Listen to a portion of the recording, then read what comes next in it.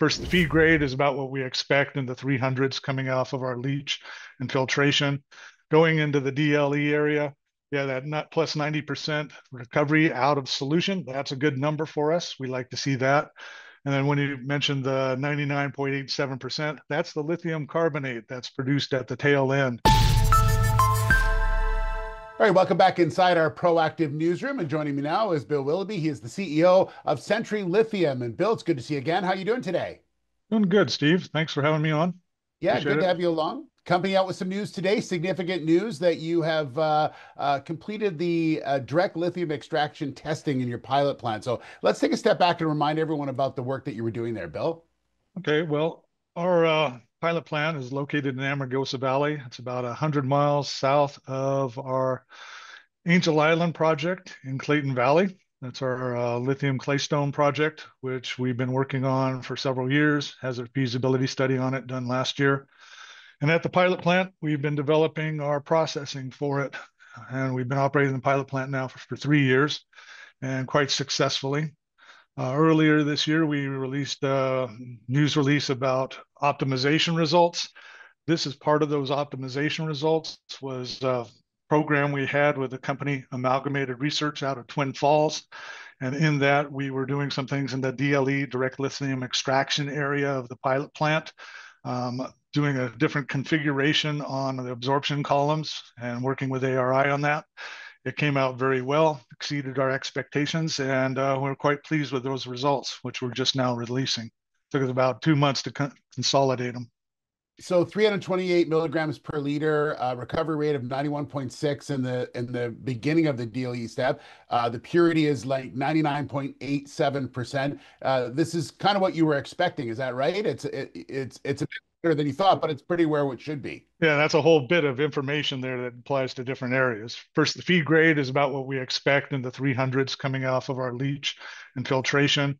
Going into the DLE area, yeah, that net plus 90% recovery out of solution, that's a good number for us. We like to see that.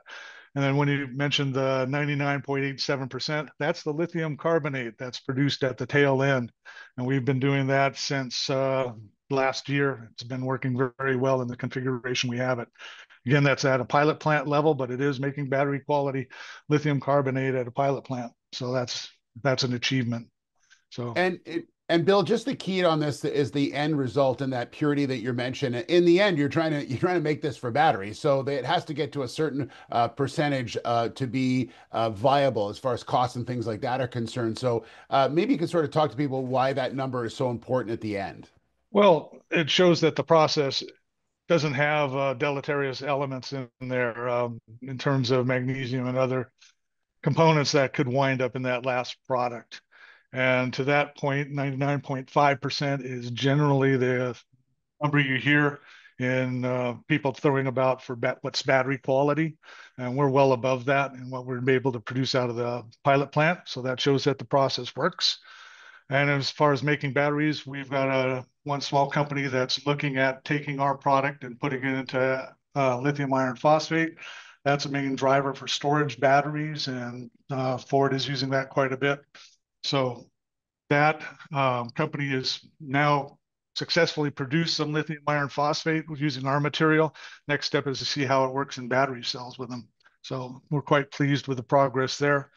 Other things that we're doing as initiatives in the pilot plant that don't really apply to the optimization and our upcoming uh, feasibility update that we're working on, we're uh, looking at uh, ways to cut our acid consumption. A couple steps there. We're looking at ways to improve our reverse osmosis. That's a step after DLE. We've been using some specialty membranes to that effect in reverse osmosis to uh, upgrade our solutions. And uh, we might even go back and look at some of the rare earth materials that we have in the claystone, given that there's such an attention now in the US on rare earth supply.